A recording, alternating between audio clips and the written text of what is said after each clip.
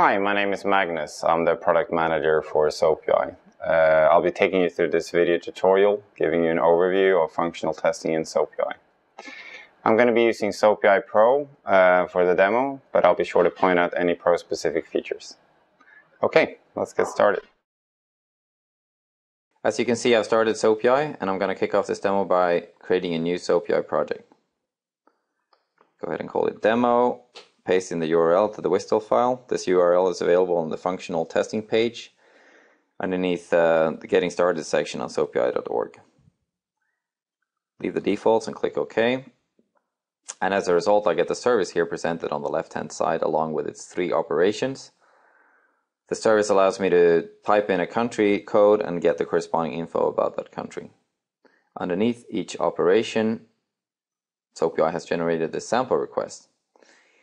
If I open the third sample request here, I get the form view presented, which is only available in the Pro version, and it basically lists all the different fields available that I can post against my web service. So you can simply fill in the data and send off the request. This becomes particularly handy when you've got a large uh, set of fields or a complex WSDL file. In the open source version, I have the XML view and the raw view. The XML view allows me to modify the XML that I want to post to my web service.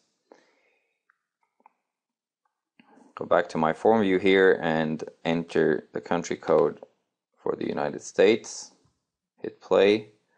As a result, I get the response here listing all the different states in the US. The response is presented in the outline view, which is also only available in Pro, and it allows me to, in an easy fashion, uh, expand and collapse the different nodes in the response. In a similar fashion, I got the XML view and the raw view available for the open source users. So what if I want to add this request to a test step? Go ahead and right click the sample request and choose add to test case. The test case requires a test suite. So SoapUI prompts me for uh, creating a test suite. I'm going to go ahead with the default name, click OK. Same for the test case. And same for the test step. And as you can see here, I now have a test suite underneath the test case and then my test step.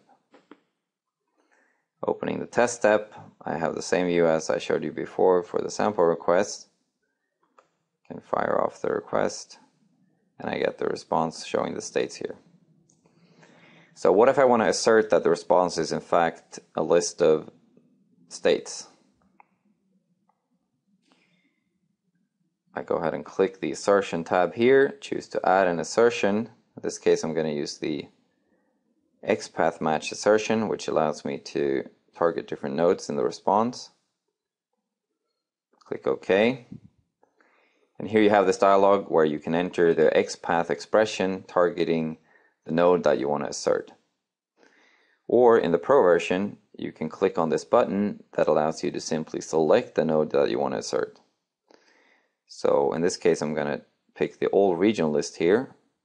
Down here you can see the corresponding XPath match or XPath expression.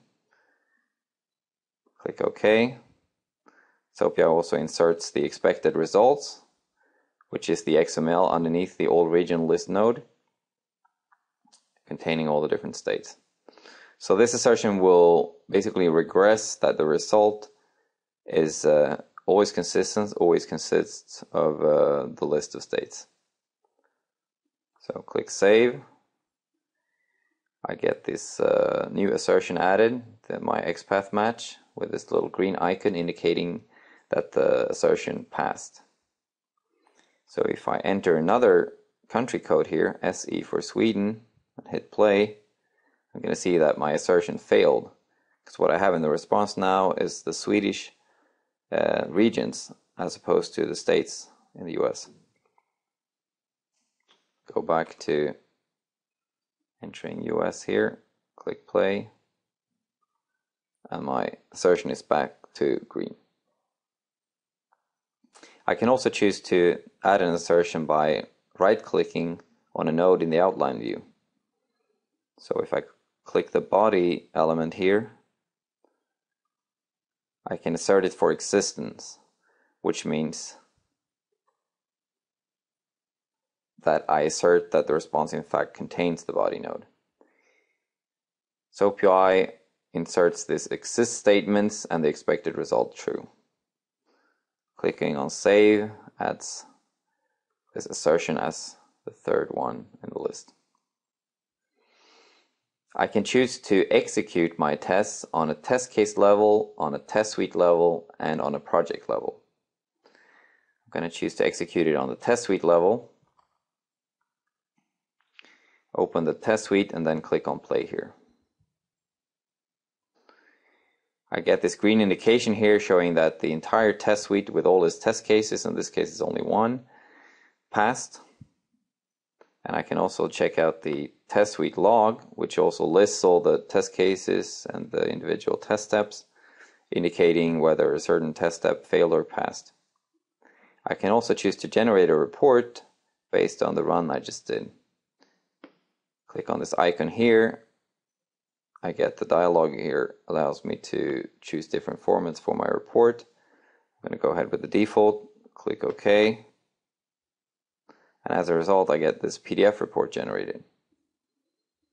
First page showing some test suite metrics, the list of test cases, and then finally the result metrics, listing all the test cases and showing which failed and which passed.